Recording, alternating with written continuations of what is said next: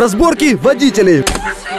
Выживание в дорожных конфликтах. Опасные дороги, проваливающийся асфальт. Резонансное ДТП за неделю. Дураки и парковки. Обо всем этом прямо сейчас в телепроекте седьмого телеканала «Дорожные хроники» с Сергеем Бандуром.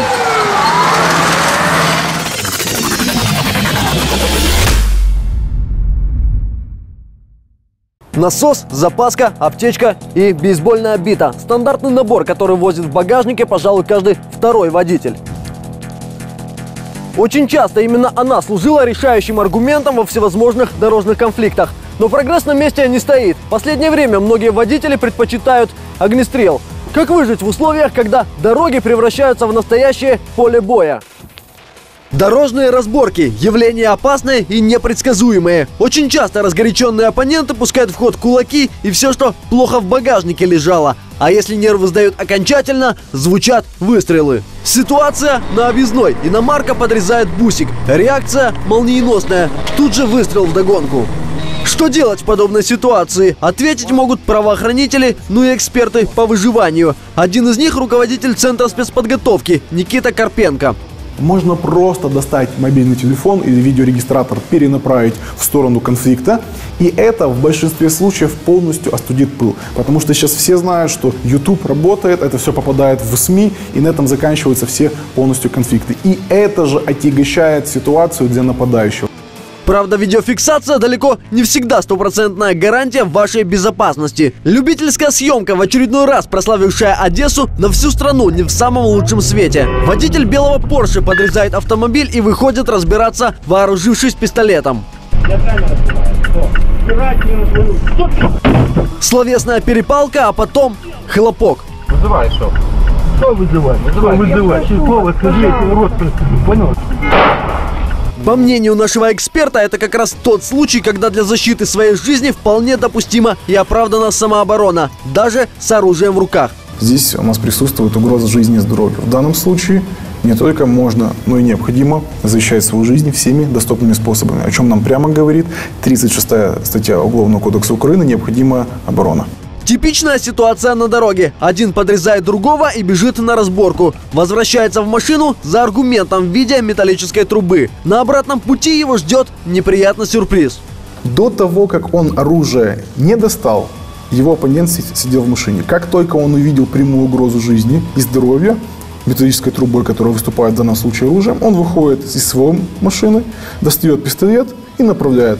Говорит, что он сейчас собирается его применять. Его оппонент бросает оружие на пол, собственно говоря, подчиняется дальше командам. Максимально грамотное поведение. Правда, пистолет в бардачке возит далеко не каждый. Если уж так случилось, что вы оказались в центре конфликта, из машины лучше не выходите. Не пытайтесь проверить, что крепче, ваша голова или бейсбольная бита. Того же мнения и наш эксперт. Если же а, нечем, нечем защищаться, то нужно максимально стараться сохранить свою жизнь. Мы, мы говорим сейчас не про юридическую часть, мы говорим о том просто, как остаться в живых. Как остаться в живых, убежать. Ничего страшного не случится. А вообще, лучший способ избежать проблем – не ввязываться в них. Тем более, что вы никогда не знаете, что возит в багажнике ваш сосед по пробке.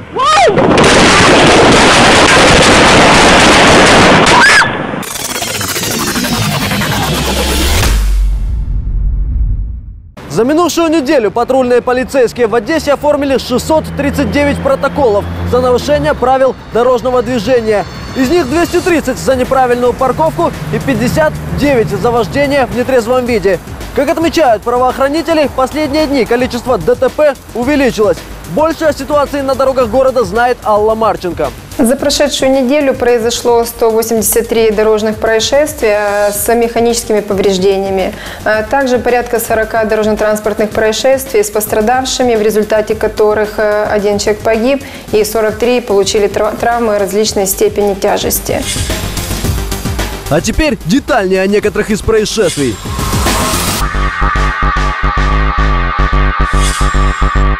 Пьяные гонки. Марсельская Днепродорога. Микроавтобус «Мерседес» влетел в Део и поехал дальше. Догнать ночного Шумахера удалось только в Фонтанке. Оттуда он тоже сбежал. Окончательно финишировал только на шестом километре. Оказалось, он в стельку пьян. Ехали на задержание, попали в больницу. Затонского Добровольского. Серьезное ДТП с тремя пострадавшими. Со слов очевидцев, Рено Дастер с надписью «Спецподразделение полиции» ехал на тревожный вызов. На перекрестке машина с сиреной и мигалкой проскочила на красный. Двигавшийся на свой зеленый водитель такси «Дача» не затормозил и врезался во внедорожник. Обе машины изрядно покорежило. В больницу уехали сразу трое. Таксист и двое бойцов нацгвардии из джипа. Как оказалось, машина относится к батальону особого назначения «Ягуар». Свернул с пути истинного. Добровольского, Державина. С рельс сошел очередной трамвай. Одесситы иронизируют, наверное, колесо спустило. Затормозил вагон об бетонный столб. От удара в салоне попадали пассажиры. Пожилую женщину забрала скорая.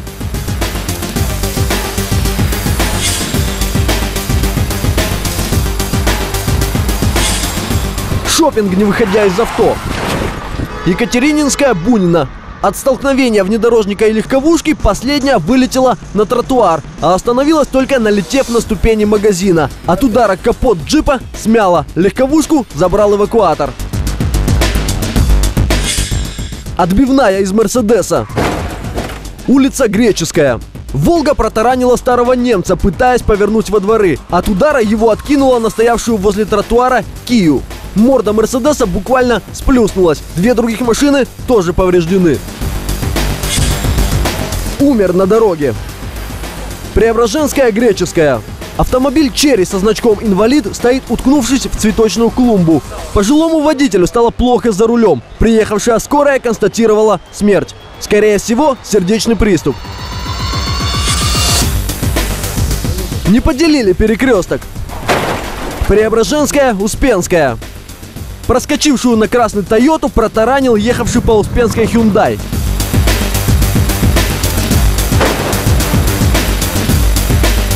Удар пришелся на пассажирскую дверь, машину закрутило и выбросило на перекресток. Есть пострадавшие.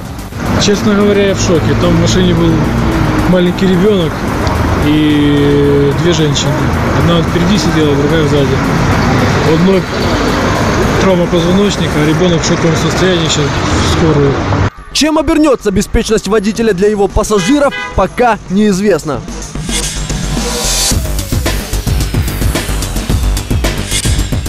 Не везет, так не везет. Комарова угол Лиздорской. Второй за неделю полицейский джип разбился на перекрестке. Картина один в один, как на Добровольского. Срочный вызов, перекресток на красный свет по двое сирены и столкновение. Правда, на этот раз с микроавтобусом.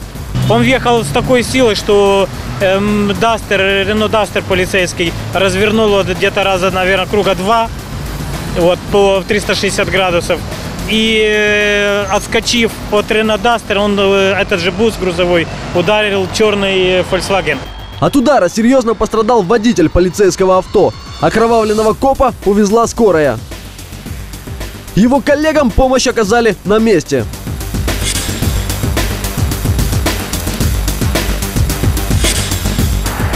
Конечная остановка – кладбище. Проспект Академика Глушко.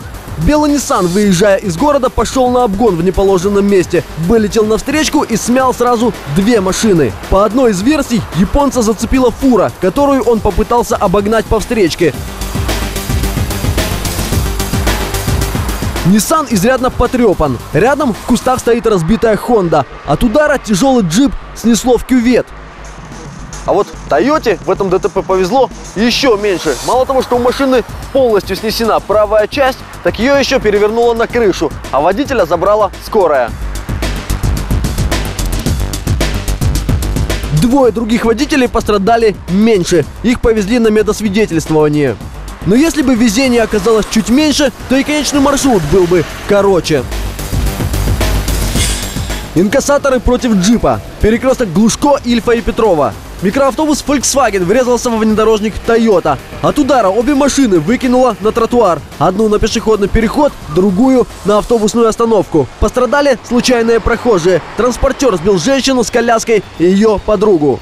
Сестра в больнице на Слободке вместе с ребенком, с ребенком с трясением мозга, куча ссадин. Я не знаю пока. Они шли троем с подругой. Ребенку годик коляски везли, он коляска, как колесо только вижу коляски. Оба участника ДТП утверждают, ехали на зеленый. Как было на самом деле, разберется полиция.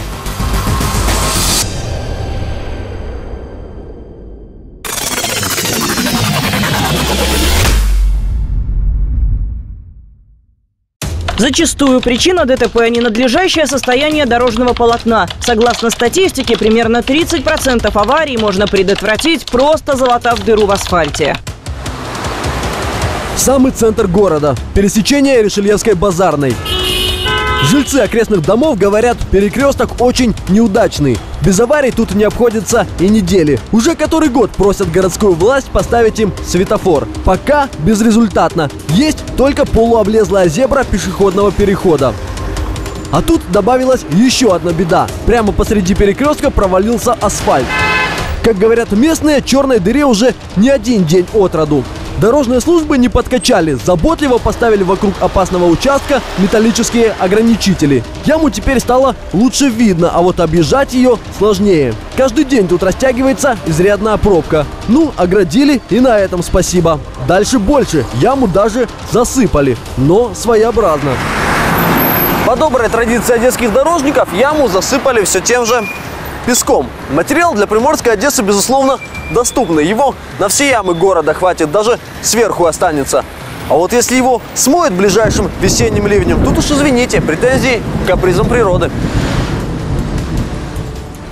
Наверное, рано или поздно на эту зыбкую основу положат прослойку асфальта. Забор уберут и пробка рассосется. А через полгода песчаную подушку, скорее всего, подмоет вода из той же забившейся ливневки или из прохудившихся коммуникаций. И тогда, здравствуй, новый провал, который надо будет латать по новой. Желательно все тем же песком. Вот такой вот замкнутый круг от одесских дорожников.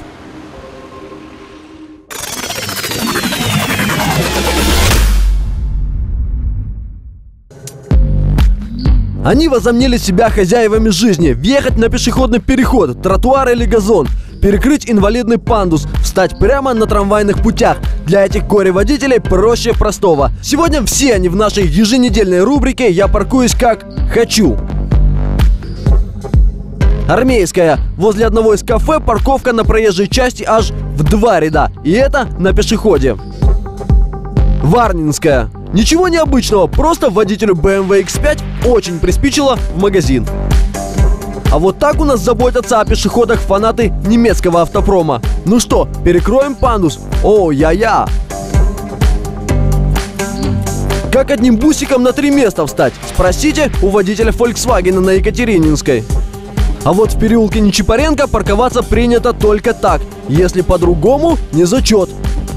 Улица тенистая. Парковка возле больницы, точнее заставленный машинами тротуар, а пешеходам welcome на проезжую часть. А вот еще один любитель выпаса крупногабаритных джипов в зеленой зоне. Infiniti на Филатова. А тут хамство просто зашкалило. Малолитражку на донецких номерах припарковали прямо в центре горсада у ротонды. Малая Арнаутская. Водителю кроссовера Toyota RAV4 захотелось подъехать к лестнице, ну, очень близко. А то, что людям из-за него пройти негде, ну что ж, бывает. Парковка на Еврейской возле областного главка. Здесь просто театр абсурда. Перекрыть все, что перекрывается, а пешеходы пусть выживают как хотят. А вот наш фаворит этой недели, достойнейший кандидат на главный приз – золотой кирпич в лобовое. Брошенная на рельсах в Аркадии Тойота перекрыла движение трамваев. Памятник цинизма и безответственности. Ну и что, что дальше людям придется идти пешком? Прогулки вообще полезны для организма. А вот и его собрат по разуму. Правда, водителю Audi повезло меньше. Свой седан ему придется поискать. Не оставайтесь безразличными к подобному автохамству. Набрать 102 и вызвать полицию не так сложно. А таким мастерам парковки самое место на штраф-площадке.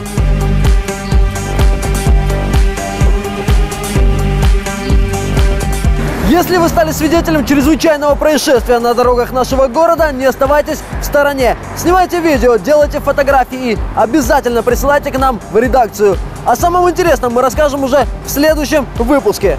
А на сегодня это все. С вами был телепроект «Дорожные хроники» с Сергеем Бандуров. Будьте осторожны за рулем, и тогда мы точно увидимся с вами ровно через неделю.